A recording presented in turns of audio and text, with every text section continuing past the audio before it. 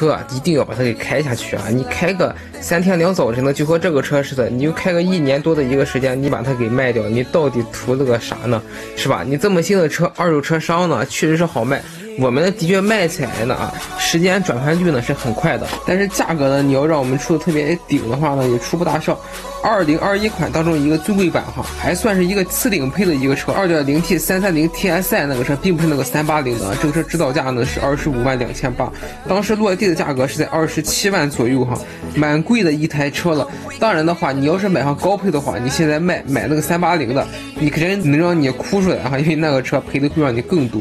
老铁们，我是不是给大家说过，你这个车型的话呢，买的买一些配置相对来说低一些的车，你将来卖的话呢，不会让你赔特别多一个钱。但是这个车呢，它已经算上是一个次顶配了哈，比它配置再高呢，只有三八零 TSI 的那个车呢，销量并不是特别的好。这个车当时落地价格呢，它也是不便宜的，而且呢，帕萨特大家都明白啊，之前呢，它出现过一些像假人撞头啊之类的这些事情啊，使它整个一个保值率呢，还是有一点点下滑的。那像这么一个车，二手能。是十万一个价格呢，或者说这一个车型，老铁们感觉它保值还是不保值的？开着一年多小伙子卖啊，一般来说年轻人卖车的频率呢是很快的，再加上年轻人呢收入呢也不是特别的稳定，他手里也没有特别多的一些余钱哈，买这个车呢也不是做一些过多一些打算去把它给买了，卖呢是要赔很多。咱来看看这辆车开着一年多，让它损失多少钱吧。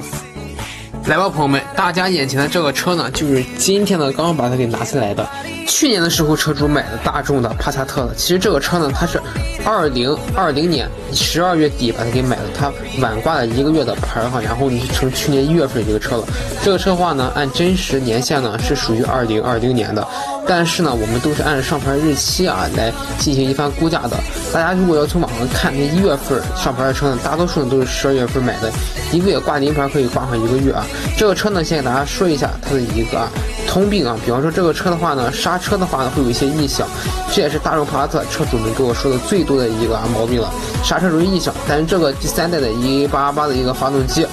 还是没有多么大的一个问题的啊！这个车的话呢，动力呢也还可以，三三零 TSI 的一个二点零 T 的低功，最大马力是一百八十六匹，变速箱是一个七档的湿式双离合，这个湿式呢就要比嗯二八零的一点四 T 那个发动机呢要好了很多。那个车现在还是干式双离合的，这个车的话呢，全部都是原版原漆啊，像这样的一个车况呢，已经是不算特别的好找了，而且这个车外观呀，真的还是挺好看的。你别看新款出了，新款出了外观，你和它去比的话，也没有任何。啊，那些大的差别就在于它的一个前杠大灯，外加上尾灯了。内饰呢也是几乎一模一样，一个十八英寸的一个铝合金轮毂也是蛮好看的。下面呢给大家拉开这车内饰啊看一看，这个车型的话呢，你仔细看一看，它和上一代的帕萨特呢有很大一个区别，包括整个一个前头中控啊，还有它的一些物理按键啊都是更新了的。螺丝接缝处呢我们也进行了仔细检查，没有任何的问题。这个车，但是这个车呢坐起来呢是真的有点硬啊，能看到还有座椅。加热这么一个功能，真皮座椅呢带着通风，还有打孔，自适应恒温空调，前排双座椅加热，一键启动，自动泊车，多功能娱乐系统，无线 CarPlay，还有手触式的大屏，这辆车全部都有了。方向盘依然是多功能的，可是呢，它没有更新到最新款的一个方向盘，这点呢就有点点可惜了。新款方向盘呢更加的具有科技感。再来看一看一个第二排的空间，因为轴距呢已经是达到两米八七了，第二排空间也还是蛮大的。全车的话呢，我们看上去氛围感也还是很不错。那最后呢，就它的一个价格了，大家感觉现在还能值多少钱呢？马上为大家来揭晓。朋友们，咱这个车呢，咱看完了。像这个车呢，报价的话呢，是在一个十九万多，不到二十这么一个位置。我们这个车拿车价格呢，是在一个十六万。